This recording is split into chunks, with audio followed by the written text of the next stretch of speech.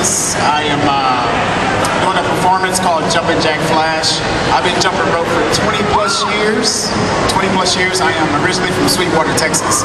Uh, what I do with jump rope, I go to different schools, help teachers, uh, teaching them how to teach jump rope uh, so they can inspire the kids to creativity and help, help out with this obesity issue we have with the, with the youth.